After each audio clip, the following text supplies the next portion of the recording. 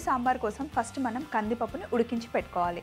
Just కొంచెం నీళ్ళు పోసి తగినన్ని నీళ్ళు పోసి పసుపు కాస్త నూనె వేసి చక్కగా మెత్తగా పప్పు ఉడికించి పెట్టుకోవాలని చెప్పారు. First job done. నేను కందిపప్పుని ఉడికించి పెట్టుకున్నాను. ఈరోజు మనం చేస్తుంది గుడ్డు సాంబార్ కదండి మరి గుడ్లు ఉండాలి కదా. ఇంట్లో ఎంతమంది ఉంటే అన్ని గుడ్లు ఉడకబెట్టి పెట్టుకోవాలి. తరువాత ఇప్పుడు మనం చేసే ఈ గుడ్డు సాంబార్కి మెయిన్ ఒక మసాలా ఉందని నాకు శకుంతల్ గారు చెప్పారు. అయితే ఆ మసాలాకి మనకి జీలకర్ర కావాలి అలాగే మెంతులు కావాలి. జీలకర్ర మెంతుల పొడి ఈ సాంబార్లో వేసుకోవాలి. అలాగే ఇంకొక మసాలా కూడా చెప్పారు అది తర్వాత రిలీజ్ చేస్తాను బ్రేక్ తర్వాత రిలీజ్ చేస్తాను. అయితే ఇప్పుడు చిన్న పాన్ తెచ్చుకుందాం. ఇప్పుడు ఒక చిన్న పాన్ పెట్టుకొని వేడైన తర్వాత కాస్త జీలకర్ర అలాగే జీలకర్ర ఎంత తీసుకున్నామో? దాదాపుగా అన్ని మెంతులు. ఈ జీలకర్ర మెంతుల కాంబినేషన్ చాలా బాగుంటుందండి. చాలా కూరలలో వేస్తారు. నేను చికెన్లో కూడా వేస్తాను. మా ఇంట్లో అయితే ఈ రెండు చక్కగా వేయించి పౌడర్ చేసింది ఉంటుంది. శకుంతల గారు అప్పటికప్పుడు ఫ్రెష్గా చేయండి బాగుంటుంది అన్నారు. మంచి సువాసన వస్తుంది. ఇవి వేగిన తర్వాత కొంచెం కలర్ చేంజ్ అయ్యే వరకు వేయించుకోవాలన్నమాట. ఇక్కడ జీలకర్ర మెంతులు వేగుతూ ఉంటాయి. స్టవ్ ఆఫ్ చేసేసి దీన్ని కాసేపు పక్కన పెట్టేద్దాం. అలాగే మనం మామూలుగా పప్పుచారు చేసేటప్పుడు పప్పుని మిక్సీ పట్టాం. కానీ పప్పుని మిక్సీ పడితే మెత్తగా అంటే చిక్కగా పప్పుచారు వస్తుందన్నమాట. సో శకుంతల గారు కూడా పడతారంట. నేను కూడా పట్టాలని డిసైడ్ అయిపోయాను. ఇప్పుడు దీన్ని మొత్తం ఫైన్ పేస్ట్గా మిక్సీ పట్టుకోవాలి. మరి మిక్సీ పట్టేసుకుంటా. ఇలా కందిపప్పుని చక్కగా మిక్సీ పట్టుకున్నాను. ఈ మిగిలిన నీళ్ళు కూడా ఇందులోనే వేసేద్దాం. ఒకే దగ్గర పడి ఉంటుందన్నమాట. అలాగే స్టవ్ మీద ఒక ప్యాన్ పెట్టుకున్నాం ఎందులో పప్పుచారు చేయాలనుకుంటున్నామో ఆ సాంబార్ చేసే గిన్నె ఇందులో పెట్టుకున్నాం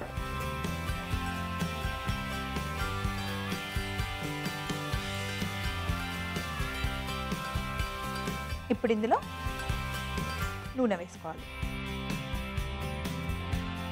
తాలింపులో ఓన్లీ ఆవాలు. జీలకర్ర మనం జీలకర్ర మెంతుల పొడి వేస్తున్నాం మళ్ళీ తర్వాత కూడా వాడుతాం కాబట్టి మనకి ఫస్ట్ తాలింపులో ఓన్లీ ఆవాలే వేసుకోవాలి. నూనె మటికి బాగా వేడిగా అవ్వాలి. నూనె వేడెక్కిన తర్వాత ఇందులో ఆవాలు వేసుకోవాలి. ఆవాలు పైన తుల్లుతాయండి. కొంచెం జాగ్రత్తగా ఉండాలి. ఆవాలు వేగుతూ ఉన్నప్పుడే ఇందులో ఎండుమిరపకాయలు కూడా వేసుకోవాలి.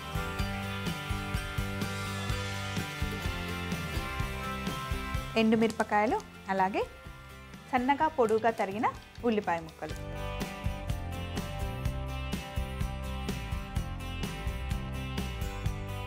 అలాగే ఇందులో పచ్చిమిరపకాయలు కూడా వేసుకోవాలి. వీటితో పాటు కరివేపాకు కూడా. ఇంకా పసుపు.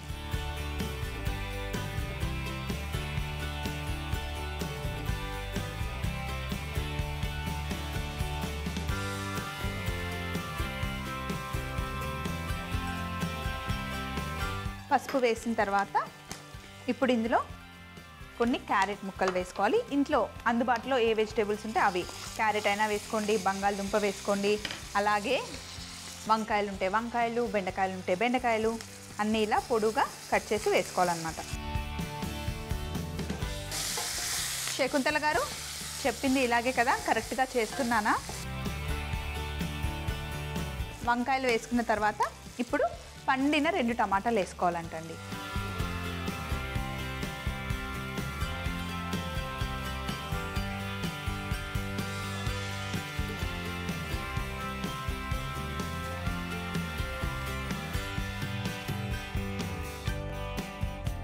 ఒక రెండు నిమిషాలు మూత పెట్టేద్దాం.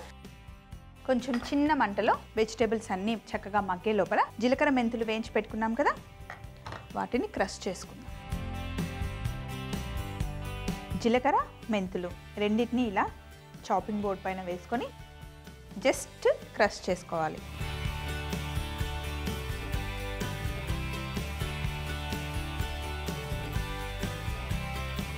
జీలకర్ర మెంతుల్ని చక్కగా క్రష్ చేసి పొడి చేసి పెట్టేసుకోవాలి.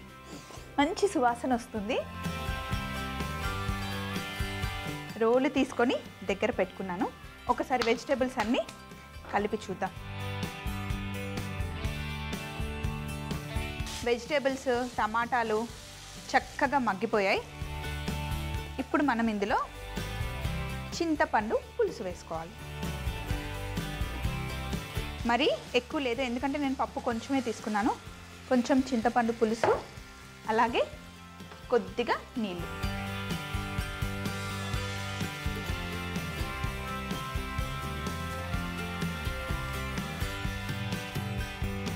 నీళ్ళు వేసి మూత పెట్టేసి కొంచెం ఉడకనివ్వాలి. ఒక ఉడికొస్తున్నప్పుడు కొంచెం ఉడికిన తర్వాత మనం మిక్సీ పట్టి పెట్టుకున్నాం కదా కందిపప్పు ఇందులో వేసేయాలి. వేసి ఒక్కసారి కలుపుకొని ఇందులో ఇంకా కొంచెం నీళ్ళు వేసుకోవచ్చు.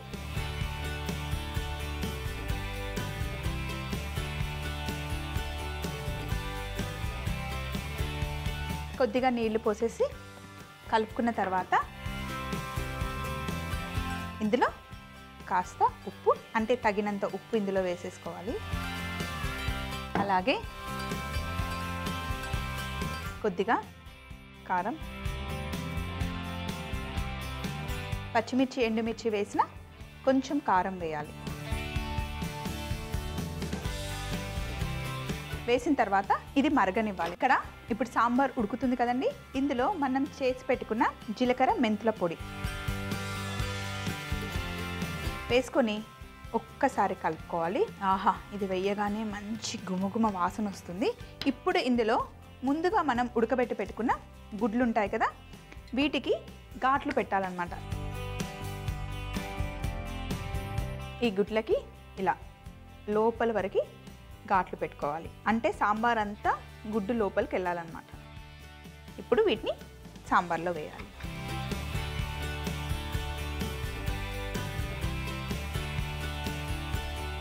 శకుంతల గారు ఏం చెప్పారంటే ఇప్పుడు చేసిన సాంబార్ కన్నా లేదా రాత్రి చేసింది నెక్స్ట్ డేకి సాంబార్ అంతా గుడ్డు పీల్చుకొని భలే రుచిగా ఉంటుందని చెప్పారు. నేను ట్రై చేశాను చాలా బాగుంది. గుడ్డు మొత్తం సాంబార్లో బాగా ఉడకాలి ఇంకా మళ్ళీ ఉడకాలన్నమాట బాగా మరగాలి. ఇప్పుడు ఇందులో మనం కొద్దిగా చక్కెర వేసుకోవాలి. సాంబార్లో ఉన్న పులుపుని కట్ చేయడానికి కమ్మదనం పెంచడానికి కొంచెం చక్కెర వేసుకోవాలి ఎప్పుడైనా సరే. చక్కెర ఇష్టం లేకపోతే బెల్లమైనా వేసుకోవాలి. తీపి పడితేనే సాంబార్ రుచి మరింతగా పెరుగుతుంది. అది రెగ్యులర్ సాంబార్ అయినా పప్పుచారైనా ఏదైనా కూడా. ఇప్పుడు ఒక్కసారి బాగా కలిపి ఇప్పుడు మనం స్పెషల్ మసాలా చేయబోతున్నాం. అదేంటో తెలుసా? చాలా సింపుల్ అండి. ఫ్రెష్ వెల్లుల్లి ఒక ఐదు ఆరు రెబ్బలు అలాగే జీలకర్ర. ఈ రెండింటిని రోల్లో వేసి అప్పటికప్పుడే సాంబార్ అలా ఉడుకుతున్నప్పుడే వేసి దంచుకోవాలి. ఇలా దంచుకుంటేనే బాగుంటుంది. మిక్సీలో వేయకుండా ఇలా అప్పటికప్పుడు వెల్లుల్లి ఇంకా జీలకర్ర బాగా దంచి సాంబార్ ఇంకొక రెండు నిమిషాల్లో దించేస్తాం అనే ముందట ఈ వెల్లుల్లి పచ్చి వెల్లుల్లి ఇంకా జీలకర్ర మిశ్రమం ఇందులో వేసుకోవాలి. దీని వల్లనే ఆ సాంబార్ ఫ్లేవర్ మరింతగా పెరుగుతుంది. చాలా బాగుంటుంది. మీరు ఎప్పుడు ట్రై చేయకపోతే కనుక నా మాట విని ఒక్కసారి ట్రై చేయండి. ఈ మసాలా చాలా బాగుంటుంది. ఇప్పుడు ఒక రెండు నిమిషాలు బాగా ఉడకాలి. అప్పుడు స్టవ్ ఆఫ్ చేసుకొని బౌల్లోకి తీసుకుందాం. మరి ఈలోపు మొత్తం క్లీన్ చేసేద్దాం. మొత్తానికి మన గుడ్డు సాంబార్ రెడీ అయిపోయిందండి. సాంబార్ని ఎప్పుడైనా సరే ఇలా మట్టి పాత్రలో పెట్టుకుంటే కనుక ఎక్కువసేపు వేడిగా ఉంటుంది రుచి కూడా పెరుగుతుంది. శకుంతల గారు చెప్పిన గుడ్డు సాంబార్ బాగా వచ్చిందండి. మరి ఇప్పుడు మనం చేసుకున్న గుడ్డు సాంబార్ని ఇలా కుండలో వేసేస్తున్నాం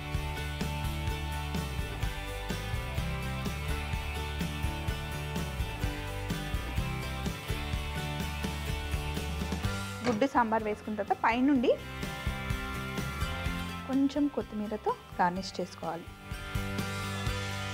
శకుంతల గారు మనకి రాసి పంపించిన గుడ్డు సాంబార్ నేను సక్సెస్ఫుల్గా చేసేసానండి. ఇప్పుడు రెసిపీ మీ చేతిలో కూడా ఉంది. మీరు కూడా హ్యాపీగా ట్రై చేయొచ్చు. ఇంకేమైనా చిన్న చిన్న డౌట్స్ ఉంటే కనుక ఇప్పుడే చిటికలో రికాప్ చూసేయండి. గుడ్డు సాంబార్ తయారీ విధానం ముందుగా ఒక ప్యాన్లో జీలకర్ర మెంతులు వేసి బాగా వేయించుకొని క్రష్ చేసి పక్కన పెట్టుకోవాలి. తర్వాత మిక్సీ జార్లో ఉడికించిన కందిపప్పు వేసి ఒకసారి మిక్సీ పట్టుకోవాలి. ఇంకొక ప్యాన్లో నూనె వేడి చేసుకొని అందులో ఆవాలు ఎండుమిర్చి ఉల్లిపాయ ముక్కలు పచ్చిమిర్చి కరివేపాకు పసుపు వేసి ఒకసారి బాగా కలిపి క్యారెట్ ముక్కలు వంకాయ ముక్కలు టమాటా ముక్కలు వేసి చిన్న మంటలో రెండు నిమిషాలు మగ్గించిన తర్వాత కాస్త చింతపండు పులుసు అలాగే తగినన్ని నీళ్ళు పోసి ముందుగా మిక్సీ పట్టి పెట్టుకున్న కందిపప్పు కూడా వేసి తగినంత ఉప్పు కారం వేసి కాస్త ఉడుకుతూ ఉండగా క్రష్ చేసి పెట్టుకున్న జీలకర్ర మెంతుల పొడి వేసి అలాగే ముందుగా ఉడికించి పెట్టుకున్న గుడ్లకి ఘాట్లు పెట్టుకొని సాంబార్లో వేసుకొని చక్కెర వేసి ఉడికిస్తూ ఉండాలి. అలాగే రోట్లో కొన్ని వెల్లుల్లి జీలకర్ర వేసి దంచుకొని మరుగుతున్న సాంబార్లో వేసి ఐదు నిమిషాలు మరగనిస్తే గుడ్డు సాంబార్ రెడీ అవుతుంది.